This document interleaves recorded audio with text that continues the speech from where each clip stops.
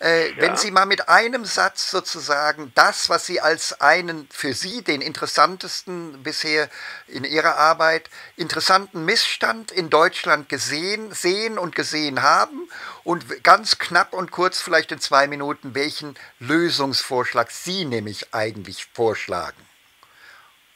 Ja, ich meine, jetzt im Zusammenhang mit dem ökonomischen bzw. sozioökonomischen System, der Vorschlag, was ich gemacht habe, was Sie gelesen haben, also mit dem Grundeinkommen, ja. äh, das Ziel ist, die Lasten dieser Gesellschaft äh, gemäß der Leistungsfähigkeit des einzelnen Bürgers zu verteilen. Ja. Mhm. Mhm. Weil momentan ist das so, dass das soziale System in Deutschland wird total ungerecht äh, finanziert. Äh, das heißt, die, die hohen Einkommen werden nicht vollständig herangezogen, sodass die, die mittlere und untere Einkommen voll für die Finanzierung des sozialen Systems herangezogen werden. Richtig. Während die hohen Einkommen nicht.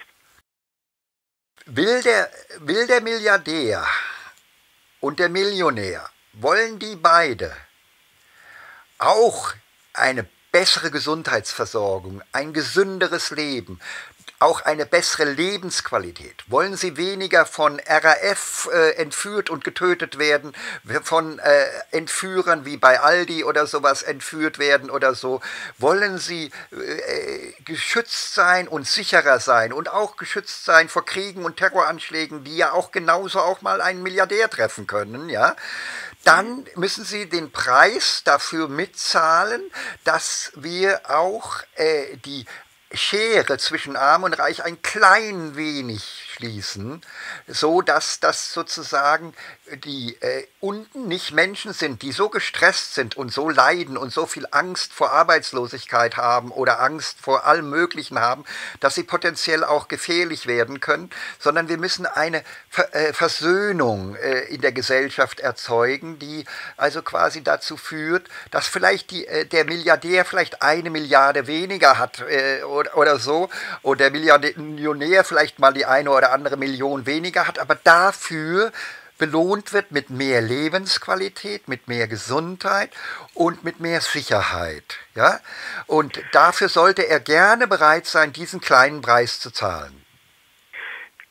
Ich weiß es nicht, äh, äh, ob der Milliardär oder der Millionär äh, auf diese Straße zunächst gehen wird, aber wenn man ihm das klar macht, dass wie viel wert ist das, wenn man in einer Gesellschaft miteinander friedlich lebt. Ja.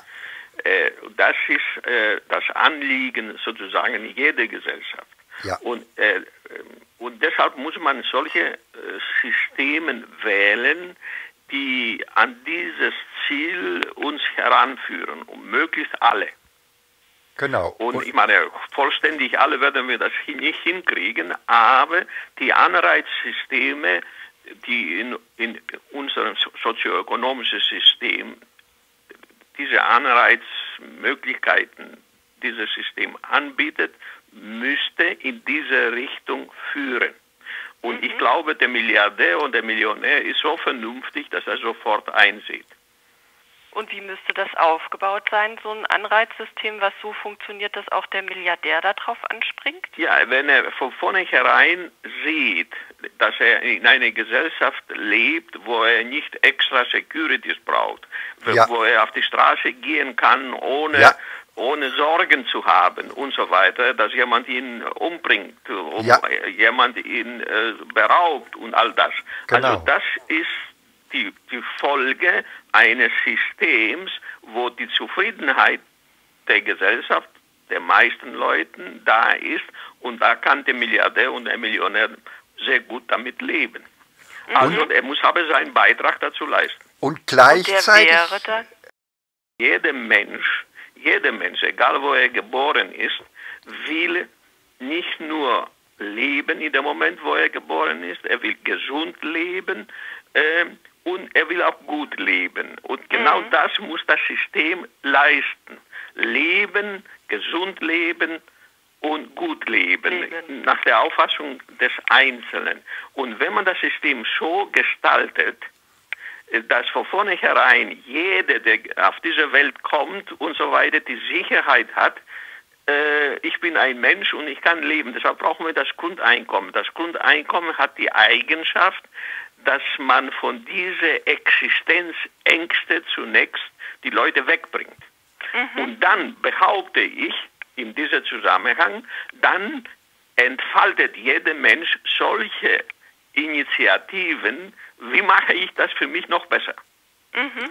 Äh, weil in dem Moment, wo ich sicher bin, wenn ich morgen früh aufstehe und nicht darüber nachdenke, Mensch, was habe ich heute zu essen, was kriege ich, sondern wenn man das ihm gegeben hat, diese Sicherheit gegeben hat, dann wird jeder Mensch Initiative ergreifen, neue Ideen haben und so weiter und wird die Gesellschaft weiterbringen.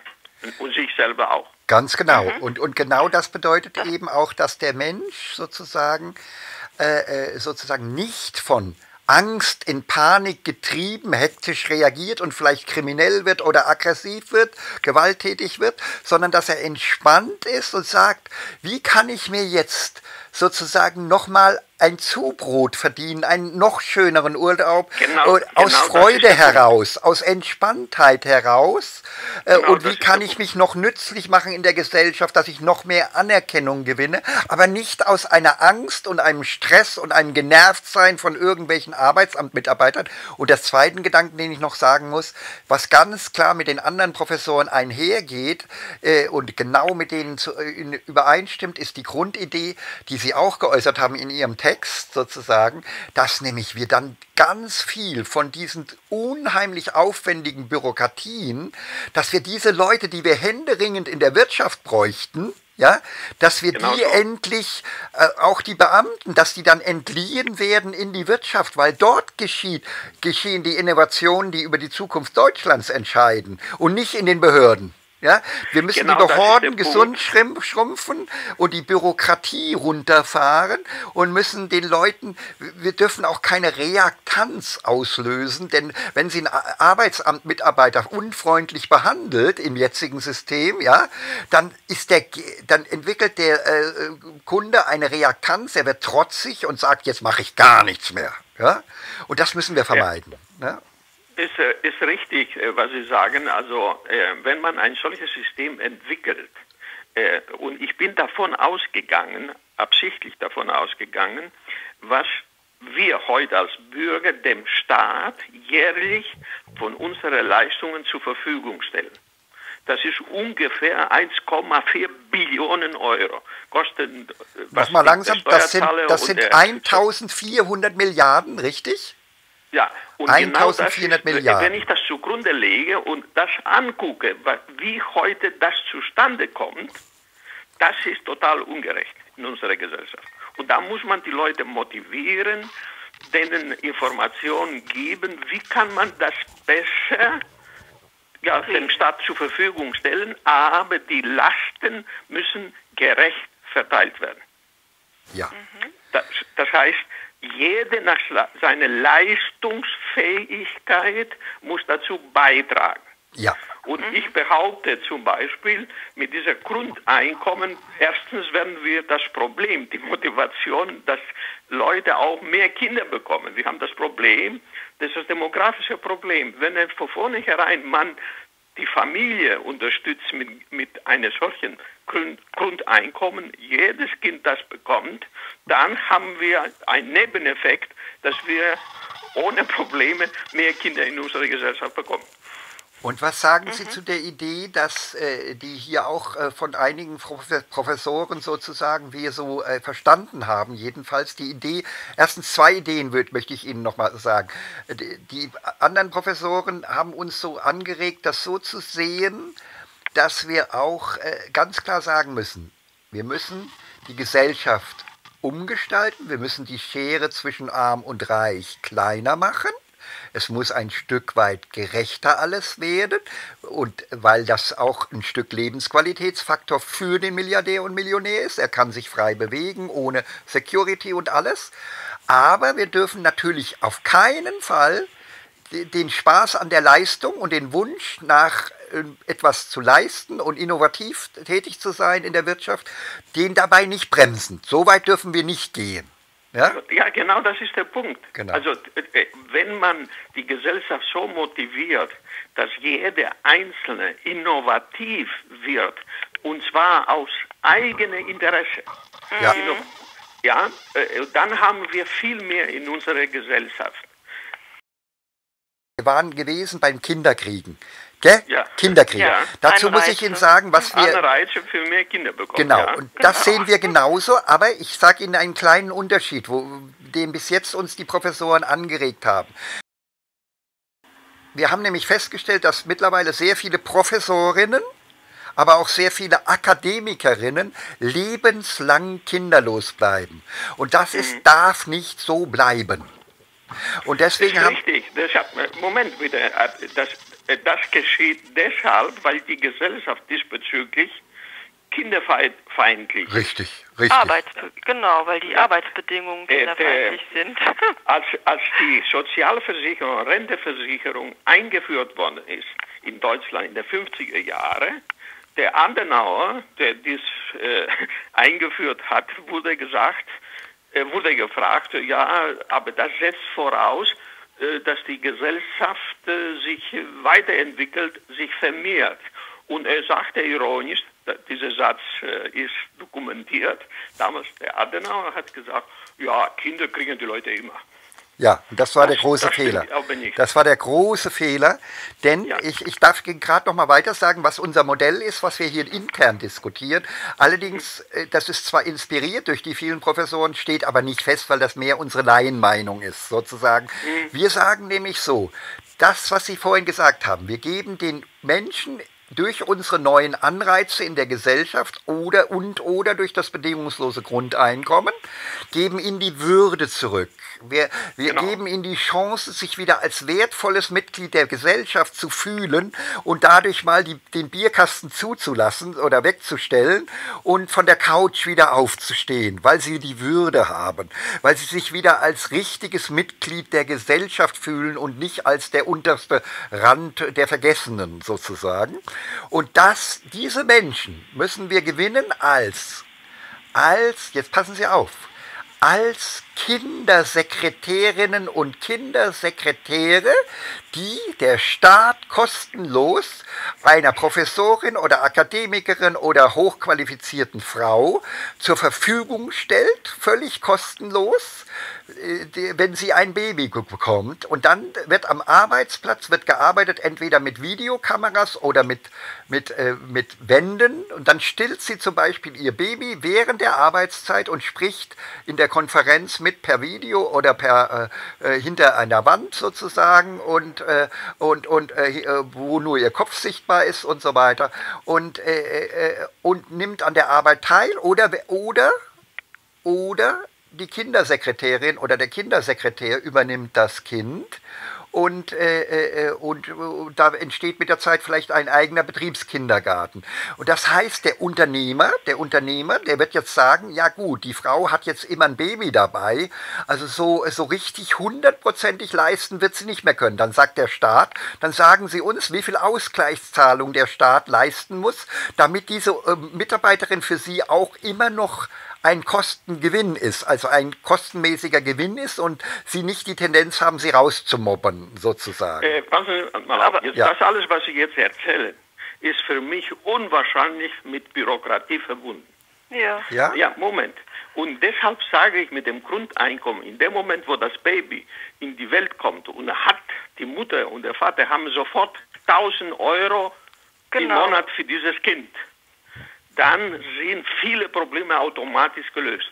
Genau, ja. da muss man vielleicht, äh, da muss die Diese Mutter vielleicht gar nicht mehr arbeiten. Ja. Wenn man anfängt wieder, äh, dann Vorschriften zu machen, was und, und, und, dann blöd man wieder die, die, die Bürokratie auf ah, und ja. so weiter. Mhm, mhm, Aber wenn ich den Leuten diese Einkommensmöglichkeiten gebe, alle diese Dinge, die erforderlich sind, selbst zu initiieren und in der mhm. Lage zu sein, sie zu finanzieren. Ich möchte, dass der Bürger die Sache in die Hand nimmt und entsprechend handelt. Deshalb dieses, was wir vorhin diskutiert haben, Grundeinkommen bedeutet Freiheit für den Einzelnen ja. und gleichzeitig wird er Innovator für sich selber und dementsprechend auch für die Gesellschaft. Und noch was, mhm. ich weiß die Gegenargumente diesbezüglich. Viele sagen zu mir, wo wird dieses Geld herkommen? Ja, genau, das ist ja, ja und das Frage. ist einfach. Ich habe gesagt, ich habe zugrunde gelegt,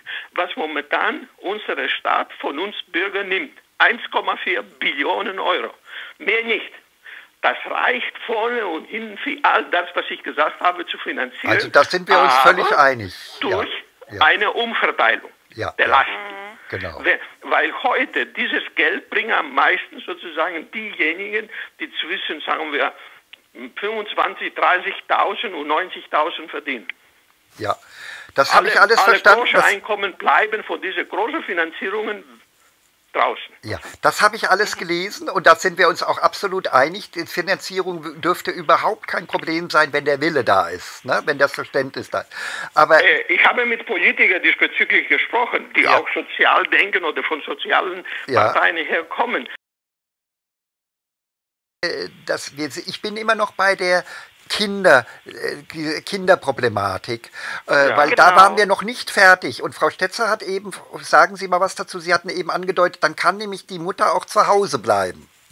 Genau, also dieses Modell, was Sie vorgeschlagen haben, dass die Mutter dann äh, bei der Arbeit ähm, stillt und in diesem ganzen Arbeitsleben äh, drin ist und dass so eine Verwischung gibt irgendwie von Privat und Arbeit, das finde ich ist nicht so eine gute Lösung. Dieses das Grundeinkommen jetzt als ähm, Existenzsicherung gibt mir ja die Freiheit, selber zu entscheiden, brau muss ich jetzt unbedingt äh, noch zusätzlich arbeiten oder kann ich nicht auch einfach zu Hause bleiben und ähm, mein Kind da aufziehen? Oder mich um ja, mein Kind kümmern. Genau, äh, genau. Also es ist mehr diese Entscheidungsfreiheit, ja. die ich ähm, will ich die, die unter Genau, die da, da, da das, das wäre ja auch im Sinne des Rat der Weisen oder der Ideen, dass man eben durch eine Korrektur der Demokratie oder des demokratischen ähm, Systems erreicht, dass es einen positiven Anreiz hat. Also in der Professorenvorschlagsliste, darf ich gerade noch kurz ergänzen, in der Professorenvorschlagsliste sind ja auch sehr viel psychologisch versierte Professoren sozusagen. Ja. Und was antworten Sie jetzt aber, Frau Stetzer und Herr Professor, was antworten Sie beide jetzt, äh, wenn, wenn dann gesagt wird, was machen Sie denn mit den Frauen, die sozusagen äh, aber unbedingt arbeiten wollen und die sich dann doch noch, die dann doch noch sich eigentlich gegen das Kind entscheiden und wenn sie Teilzeit arbeiten, wie, was machen sie dann mit den vier Stunden, die die Mutter ständig ein schlechtes die hat Gewissen die andere. hat? Es gibt ja Teilzeit, es gäbe ja zum Beispiel Teilzeitmöglichkeiten. Ich und eine andere Frau, die auch äh, ein Kind hat oder die ähm, also überhaupt das Arbeits das Arbeitsmodell äh, dahingehend aufzulösen, dass es flexibler ist und ähm, man ähm, genau den anderen Teil macht dann eine andere Genau, Frau. die Kinderbetreuung äh, übernimmt Herr Weber, die, ja. diesbezüglich, ja. okay, ich verstehe die, die Argumentation von Ihnen, aber ich sage Folgendes. Warum lassen wir den Menschen, die Mutter, die Frau nicht selber, nicht selber entscheiden? Und äh, wenn die Frau wann entscheidet von alleine, wenn sie diese Last der Finanzierung genau, das nicht hat. Mhm. Wenn, wenn man ihr diese Möglichkeit gibt, dann entscheidet die für meine Begriffe vernünftig. Was halten Sie für davon? Für sich selber und für die Gesellschaft. Richtig, ich, äh, ich kann es nachvollziehen. Also nochmal, Frau Stetzer, ich habe es hoffentlich richtig verstanden, dass Sie sagen, dass zum Beispiel bei einem Teilzeitmodell die Mutter zum Beispiel beide Kinder, die, die Kinder der beiden Mütter betreut und dann geht sie arbeiten und die andere Mutter betreut die beiden Kinder, äh, auch der, der anderen Mutter, die jetzt arbeitet zum Beispiel, ja? Dann wäre das doch ein gutes Modell. Habe ich das richtig verstanden? So, das wäre ein Modell, was äh, denkbar wäre. Nee, ich meinte es eigentlich unabhängig voneinander. Einfach, dass ich, ähm, dass es eben dazu gehört ja, um äh, in Teilzeit, erstmal ist ja, ich muss in Teilzeit auch die Möglichkeit haben, Karriere zu machen. Das ist ja schon ein großer Schritt, der noch nicht da ist. deshalb sind die ganzen Akademikerinnen ja auch kinderlos, weil die natürlich, man kommt ja nur an die Spitze, wenn man da auch viel Energie und Zeit investiert. Und ja, genau das, das, dahingehend müsste sich das ja erstmal verändern. Das ist ja jetzt unabhängig von, äh, von Kindern. Ähm, Gut, aber, aber lassen Sie mich noch mal so, so sagen, Herr Professor. Also ja. was ich jetzt, was Sie, Sie gewinnen mich nach und mehr nach, obwohl ich ja hier, ich, ich habe ja nichts zu sagen, aber Sie gewinnen mich nach und nach für das Grundeinkommen, weil wie wäre es denn, wenn wir beides kombinieren würden? Das Grundeinkommen und eben die Tatsache, dass zum Beispiel eine Professorin oder Akademikerin in der Zeit, in der sie ein Baby betreut, keine Steuern zahlt und eben diese Unterstützung hat. Denn, denn äh, wie gesagt. Moment, Moment. Äh, das Grundeinkommen bekommt derjenige, derjenige, der kein Einkommen hat. Ja. Das Grundeinkommen ist auch ein negatives Einkommen für denjenigen. Deshalb kriegt er, in meinem Modell ist das brutto 15.000 äh, Euro. Habe ich gelesen, ja, ja, ja. Im, äh, im Jahr. Ja, genau. Jede, jede Person. In dem Moment aber, wo eine Person anfängt zu arbeiten und Geld zu verdienen, diese 15.000 Euro sind steuerfrei. Ja. Für jede Person, ja. der genau. arbeitet und Einkommen ja. hat. Und das andere, das negative Einkommen, in dem Sinne, wo ich keine habe, bekomme ich. Wenn ich nicht arbeite, aus welchen Gründen auch immer. Ich habe Anspruch auf, dies, auf dieses Grundeinkommen. In mhm. dem Moment aber, wo ich arbeite, ich habe die ersten 15.000 Euro, die ich verdiene, steuerfrei. Ah, okay. Ja, ja. und, und unsere Modell hätte die äh, äh Professorin. Äh, äh, Frau Stetzer, wenn wenn Sie möchten, lesen Sie meinen Beitrag, mhm. damit, damit auch das Ganze vor Augen geführt wird.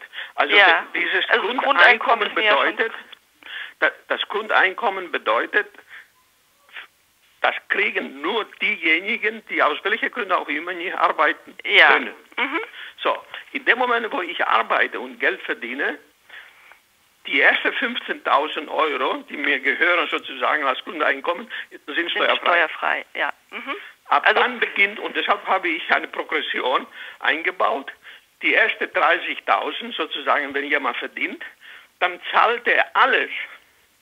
Mhm. 15.000 sind frei und dann 20 Prozent für die 15.000.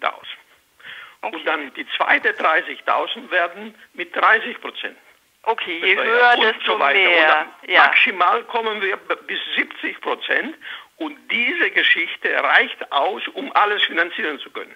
Okay. Mhm. Ja, und, und unser also Vorschlag war ja jetzt... Also ich ja, ja, stelle noch mal, genau, die ganze Finanzierungsproblematik ja, genau. mit mhm. angesprochen. Ich ja. stelle noch mal die Gretchenfrage. Äh, ich stelle ja. noch mal die Gretchenfrage. Was machen Sie, was sagen Sie der Professorin, die sagt, und der Akademikerin, die sagt, in den Führungsetagen und so weiter. Was sagen Sie ihr, wenn sie sagt, ich will mir aber auch im Leben den Spaß gönnen, Karriere zu machen? Ja. Und äh, äh, äh, deswegen entscheide ich mich dann eben doch gegen Kinder. Was sagen Sie ihr? Gegen Kinder. Ja, nee, ich meine, gucken Sie doch mal. Moment bitte. 50 Prozent aller, 50 Prozent aller sagt, In der Zeit, wo ich Karriere machen will, wo ich mich ausbilden will und so weiter, sind die Kinder mehr im Wege. Ja. Genau. Das ist die, die Begründung dann. Ja. ja. Und was sagen so, Sie ihr? Und wenn ich jetzt diese im Wege sein beseitige, dann hat diese Frau das Argument nicht mehr. Ja, aber das Grundeinkommen bedeutet ich nicht, dass sie Karriere macht. Ich habe mit Frauen diesbezüglich gesprochen. Das meiste Problem, was die meisten Frauen, ich behaupte 80, 90 Prozent der Frauen, die Mütter werden wollen, das Problem ist, wie finanziere ich ein Kinder, Kita und eine, das und jenes, wie, wie kriege ich meine Kinder unter? Das kriegen wir durch das Was Grundeinkommen gelöst. Ja, genau. Das Problem hätten wir durch das Grundeinkommen vom Tisch. Ja, das ist gelöst. Perfekt. Ich, Aber was machen Sie mit der Familie, Akademikerin? Meine Frau, wir haben vier Kinder bekommen zusammen und meine Frau hat sich entschieden, sie war Kinderlehrerin, äh, Kindergärtnerin, hat sich dann nach dem zweiten Kind entschieden, zu Hause zu bleiben. Genau. Mhm. Ah, aber, aber nochmal die Gretchenfrage. Aber die war die Frau eines Professors. Ja. Genau. Aber jetzt nochmal die Gretchen. waren Sie im ja. Grunde genommen abgesichert. Sicher. Ja. Ja, wie viele Frauen haben einen Professor als Mann? Frau Stetzer, Frau Stetzer, was sagen Sie der Frau, die sagt, ich bin Professorin, 50 Prozent meiner Kolleginnen sind lebenslang kinderlos oder ich bin Akademikerin in einem Betrieb und 50, 40 Prozent meiner Kolleginnen bleiben lebenslang kinderlos und deswegen, ich weiß genau, wenn ich Karriere machen will, muss ich auf Kinder verzichten. Und ich will mir einfach den Spaß gönnen, Kinder zu bekommen Oh, und ich, deswegen schiebe ich mal mein Kinderkriegen weit hinaus. Manche lassen sogar ihre Eizellen einfrieren, um dann möglichst mit 50 oder 60 noch ein Kind bekommen zu können, was sehr bedenklich ist äh, aus medizinischen Gründen in Wirklichkeit, wenn es nicht ein Geschäft ist sozusagen. Also Frau Stetzer, was sagen Sie jetzt ganz klar dieser Frau, wie wollen Sie ihr es ermöglichen, dass sie Karriere und Kind verbinden kann? Dazu müsste sich das, ähm, äh, das System ändern. Ja, aber wie? Dazu müsste sich das so ändern, dass es eben nicht, ähm, dass ich mit meinen, dass ich meinen äh, Alltag so gestalten kann, dass ich zum Beispiel nur vier Stunden arbeite und die, die anderen vier Stunden für die Familie habe und dass ich äh, in den vier Stunden die Arbeit, dass es so verteilt ist, dass ich da dann eben in diesen vier Stunden auch das leisten kann, um äh, Karriere zu machen. Dass das ausreicht. Was sagen Sie jetzt der Mutter, wenn sie sagt, in diesen vier Stunden vermisse ich mein Baby und äh, leide schrecklich, weil ich mir als schlechte Mutter ja, dann, vorkomme also in den ich, vier Stunden? Ja dann muss er Kinder kriegen und zu Hause bleiben und äh, auf die Karriere verzichten. Ja, warum, warum, warum stehen Sie so ablehnend dem Vorschlag gegenüber aus, äh, der, der, der, äh, der Mutter einfach eine Kindersekretärin an die Seite zu stellen? Weil die Kindersekretärin, ich finde diese Kindersekretärin, das ist jetzt ein ganz persönliches Ding. Ich wollte keine Kindersekretärin haben. Also das ist jetzt eine ganz persönliche... Eine persönliche Meinung. Aversion. Mir wäre, mir wäre als, ähm, als Frau wichtiger, dass ich mit meinem Kind was unternehmen kann und dass ich arbeiten und dass das getrennte Bereiche sind. Ich finde diese Vorstellung, und was macht dass das kind stillende Mütter in ja. Büros sitzen und Kinder, äh, also Babys in Büros aufwachsen, das finde ich furchtbar. Das ist aber eine, das ist eine persönliche äh, Aversion, ja, genau. Ja. Darf ich äh, jetzt als Ökonom eine Idee hineinbringen? Ja. Ich behaupte, und äh, Frau Stetzer, als Frau können Sie das äh, bestätigen oder nicht. Die Mehrheit der Frauen wollen gerne Mütter werden. Ja, ja das glaube ich auch. Glaube ich auch. Ja? Also das kann man statistisch nachweisen. Ist also das so heißt, ja. die Mehrheit der Frauen wollen dieses Muttergefühl, sagen wir so, haben. Ja. Mhm. So, äh, und die Frage ist jetzt, wie bewertet eine Frau diesen Nutzen? Genau. Des Kindes? So kann man. Mh. Ja, äh, so, und jetzt ich als Ökonom bin ich da immer daran gewöhnt, in Opportunitätskosten zu denken. Okay. Was gewinne ich, was verliere ich? Mhm. Und äh, wir Ökonomen sagen, eine vernünftige Entscheidung ist, wenn das, was ich gewinne, im Vergleich zu dem, was ich verliere, mehr ist dann entscheide ich dafür. Und dann entscheide ich auch vernünftig für mich und für die Gesellschaft. Und warum soll man den Frauen denn diese Entscheidungsmöglichkeiten wegnehmen? Also mit meinem Grundeinkommen will die Frau unterstützen, dass sie dieses Muttergefühl, also diesen Nutzen, Mutter zu sein oder Mutter zu werden, auf der einen Seite, und auf der anderen Seite, was verliere ich? Und jetzt verlieren sehr viele Frauen Einkommen und bleiben arm. Mit meinem Grundeinkommen will ich diese Armut weghaben. Ja, mhm. da sind wir alle einig. Und ja, deshalb, äh, äh Aber Sie vergessen die Professorin und die Akademikerin. Ich darf nicht die Frauen bevormunden. Genau. Warum, äh, wenn mit dem Grundeinkommen gebe ich der Frau diese Entscheidung, echte Entscheidung für sich zu treffen. Und mhm. ich behaupte, das ist für die Gesellschaft auch optimal, wenn die Frauen selber entscheiden. Ja, Aber es ist ja eben nochmal, wenn ich, ähm, das, die finanzielle Absicherung ist das eine. Ja. Und dann ist ja auch das, ähm, die fachliche, also oder die berufliche Weiterentwicklung, die ja, wenn, oder so wie es jetzt in der Gesellschaft ist, ist es ja eher so, dass dann die Frauen oft eine Pause machen und dann eben aus diesem Grund, aufgrund dieser Pause, dann später gar nicht mehr in diese akademische äh, Laufbahn reinkommen weil da einfach zu viel Pause war, sage ich jetzt mal. Die ja. Idee ist ja dann, dagegen zu steuern und zu sagen, so die Pause gibt es einfach gar nicht. Wir setzen die Frauen äh, stillend an den Computer oder führen Kindersekretärin, wie dass das Kind mit bei der Arbeit ist. Das ist ja so äh, das Gegenmodell. In einem, toll, in einem toll gestalteten Kinderbetriebs, äh, Kinder, Trotz, Betriebs, also Persönlich kann ich da sagen, wäre, das ist für mich keine Option.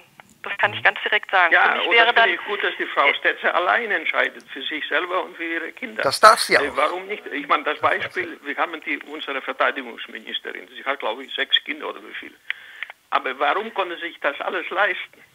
Ja weil finanziell total unabhängig war. Ja. Mhm. Und ich, einen Ehemann hatte, der mitgemacht hat. Darf ich in diese hochinteressante Diskussion, die wir gerade führen, noch einen Impuls reinbringen, den uns bestimmte Professoren ja auch angeregt haben?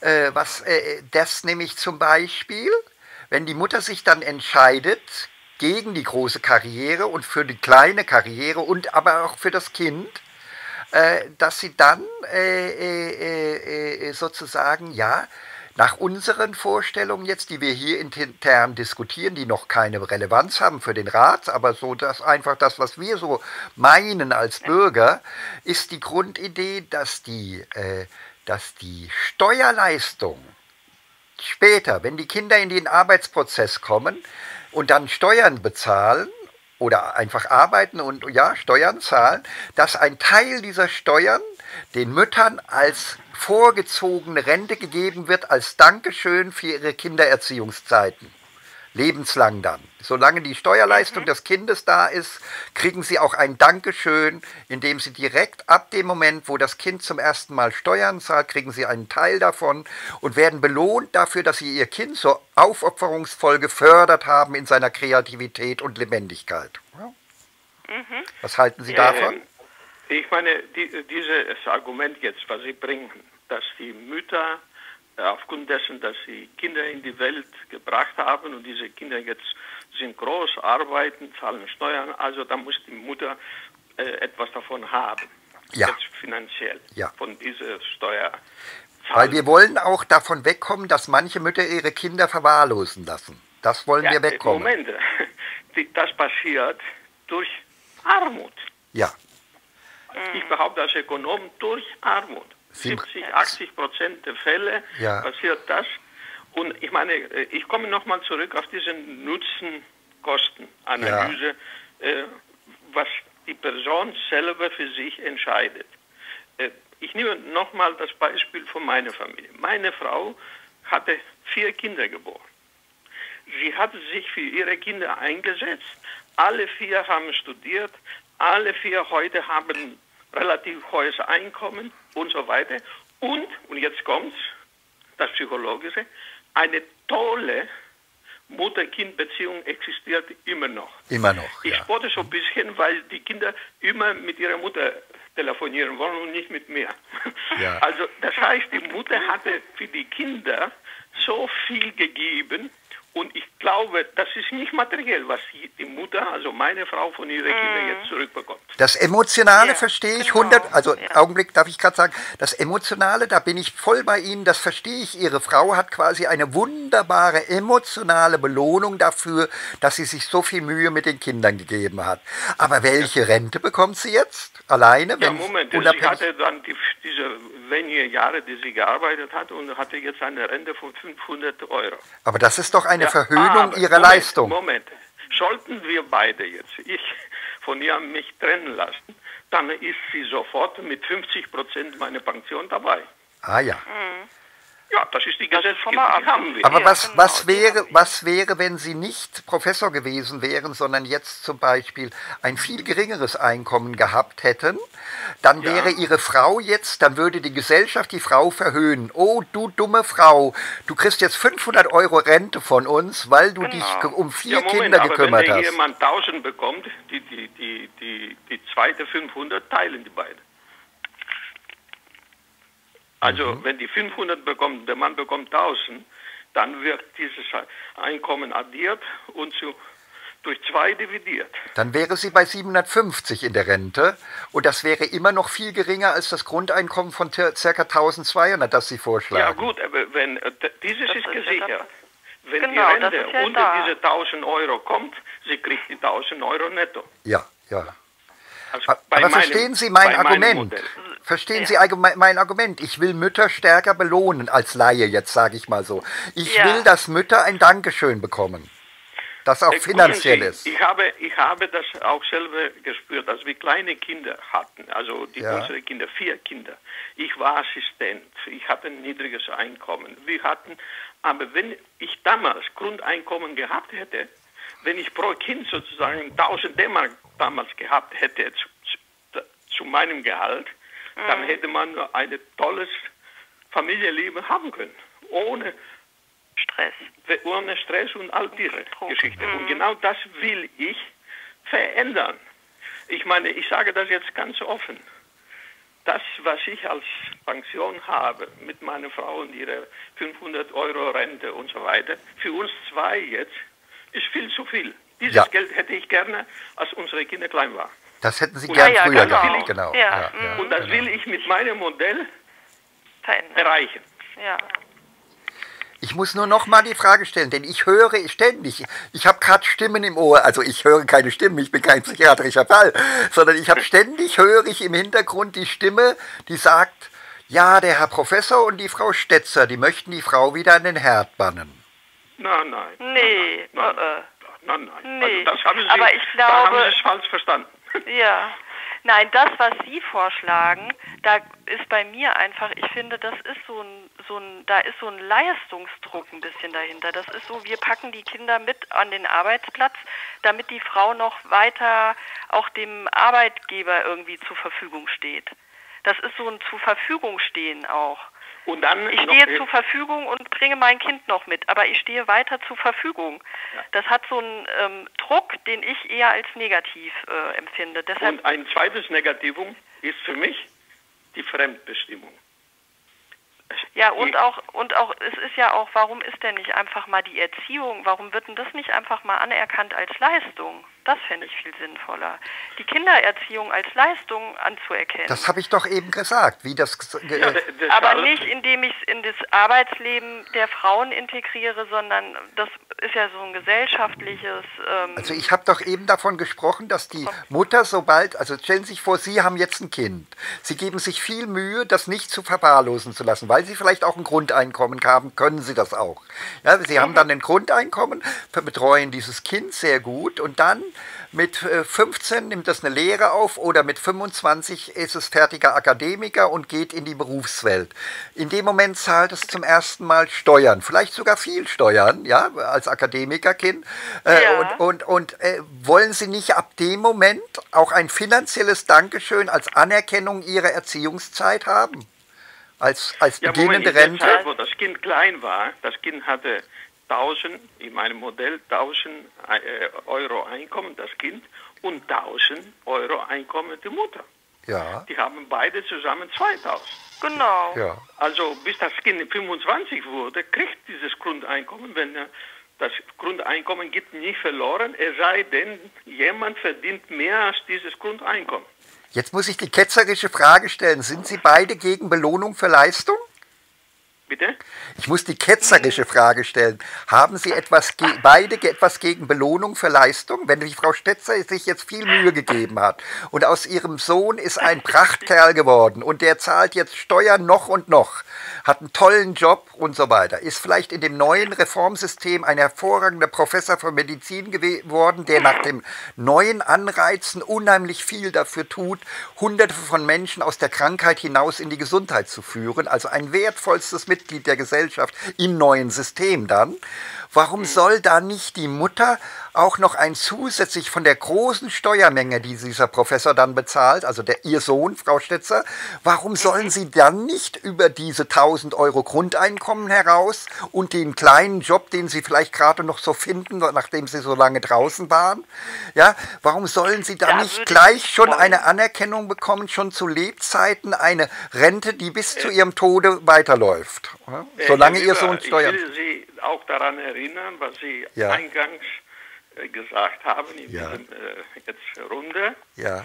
Sie, Sie, wollen gleichzeitig bei alle diese Entscheidungen und Maßnahmen, die eventuell treffen könnten und so weiter, nicht außer Augen verlieren, dass die Leistungsträger nicht die Lust verlieren zu leisten. Ja. Also die Gesellschaft muss man so organisieren, dass Leistung und Gegenleistung mhm. so miteinander verknüpft ist, dass jeder das, was er kann, auch bringen muss. Ja. Mhm. Ja, und das ist das, das ist was, äh, ich weiß es nicht, ob Sie sich damit beschäftigt haben. Das Modell Maastricht-Vertrag hat zwei Prinzipien, das die meisten Leute nicht kennen oder nicht bewusst das haben. Zwei Prinzipien. Solidaritätsprinzip und Subsidiaritätsprinzip. Genau, das drückt das aus. Subsidiarität heißt, ja. was der Einzelne kann, als Person, als Staat, als Gesellschaft, muss bringen. Mhm. Und Solidarität heißt, was aus welchen Gründen auch immer der Einzelne nicht kann, müssen die anderen für ihn das aufbringen. Mitleisten. Mhm. Also das heißt mit anderen Worten, das haben wir in unserer Gesellschaft, nur wir realisieren das nicht so. Ja. Das ist das Problem. Frau Stetzer, Frau Stetzer, äh, äh, warum, wieso haben Sie nicht Lust äh, für Ihre Erziehungszeiten also einen Re Zuschlag zur Rente zu bekommen nach der Steuerleistung Ihres Sohnes? Doch, da würde ich mich schon auch freuen. Ja. Das wäre ja eine Möglichkeit, das anzuerkennen tatsächlich. Tatsächlich. In dem Rat wird es einige Professoren geben, die einfach äh, tendenziell dazu neigen würden zu sagen, wir müssen, wir finden es auch gut, wenn die Frauen sich entscheiden, eher für das Kind und dann also die große Karriere einfach mal abhaken, so wie das Ihre Frau getan hat, Herr Professor. Gell? Und, äh, ja, aber meine Frau hatte tatsächlich verloren.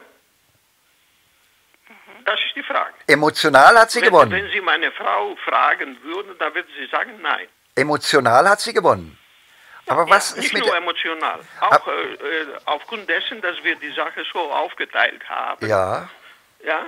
Und äh, von der Gesellschaft ist sie auch abgesichert, wenn sie unter 1000 runterkäme bei meinem Modell, aber auch, auch jetzt bei dem Modell, was existiert. Aber jetzt äh, denken Sie mal, jetzt denken Sie mal an. Abgefangen in dem Sinne, sollte ich sagen, jetzt will ich eine, eine viel jüngere haben und gehe ich weg, sie kriegt die Hälfte meiner Pension, mhm. ob ich das will oder nicht. Ja, halt, Vorsicht, da, ist, da müssen wir vorsichtig gegen, sein.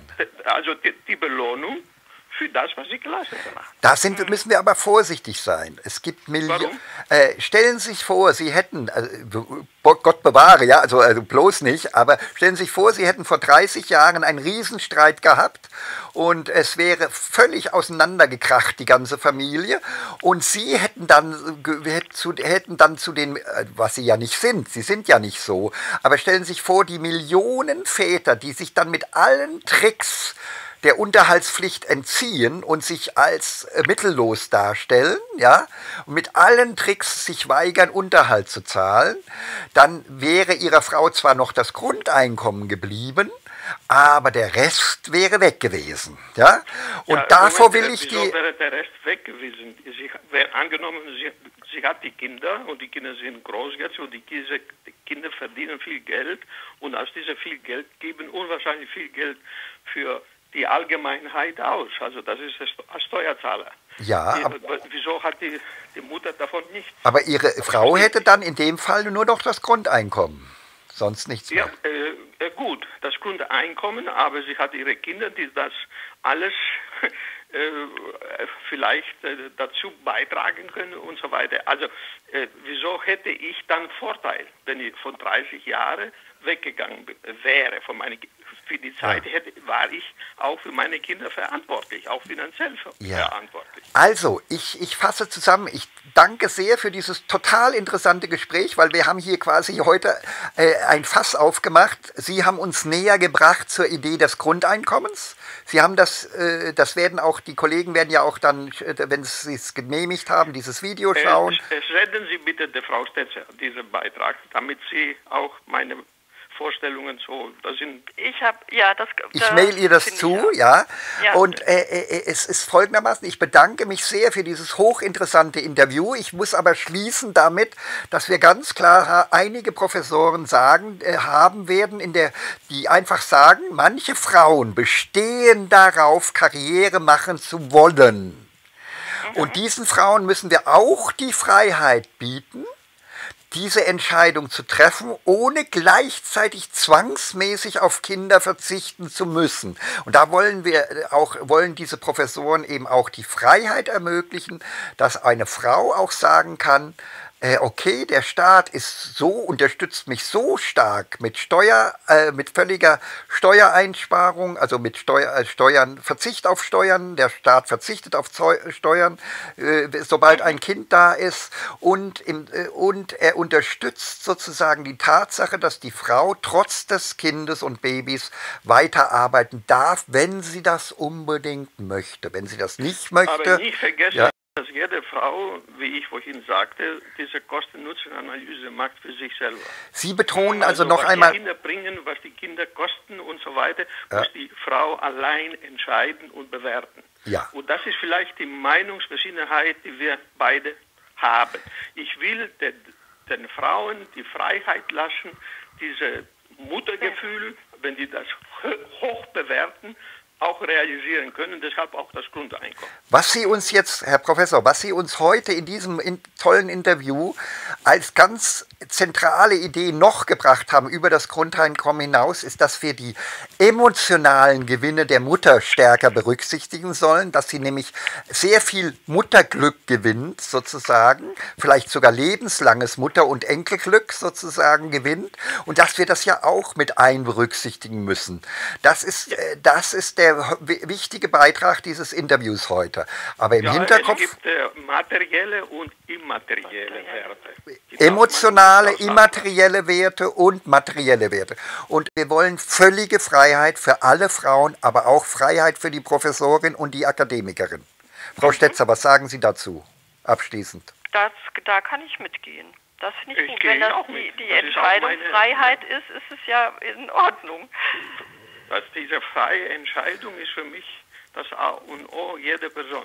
Genau, dann damit schließen wir damit, dass wir das zwar nicht zu Ende diskutiert haben, aber dass wir uns an dem Punkt alle einig sind, wir wollen völlige Freiheit für die Entscheidung jeder Frau, ob wie sie Karriere und Kinder verbinden möchte, ob sie sich nur für Kinder entscheidet, ob sie sich schlimmstenfalls leider auch äh, nur für Karriere entscheidet oder ob sie sich für irgendeine Mischform zwischen Kinder und Karriere entscheidet. Mhm. Diese völlige ja. Freiheit wollen die anderen Professoren in dem Rat. Und ich glaube, Herr Professor, damit können Sie genauso mitgehen, gell? Okay. Alles ja. klar. Dann danke ich Ihnen herzlichst für dieses Gespräch.